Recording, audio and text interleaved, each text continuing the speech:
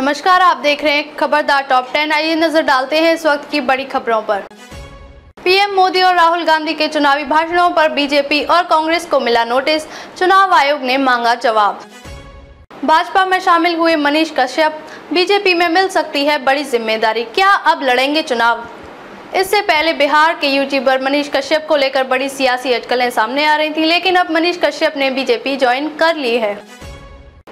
लागा झुलनिया के धागा।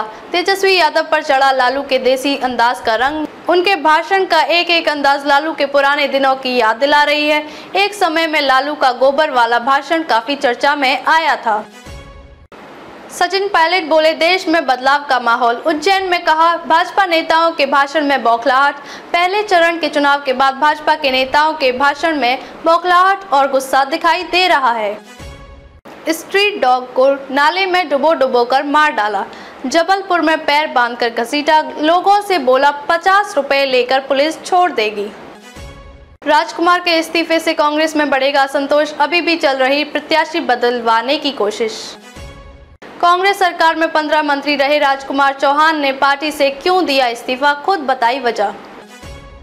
अरुणाचल में भारी बारिश के बाद भूस्खलन से बहा हाईवे, चीन की सीमा से जुड़े इलाकों से कटा संपर्क। बचिंडा के रण में ससुर और पिता के नाम का सहारा, इमोशनल कार्ड खेलने में जुटे प्रत्याशी।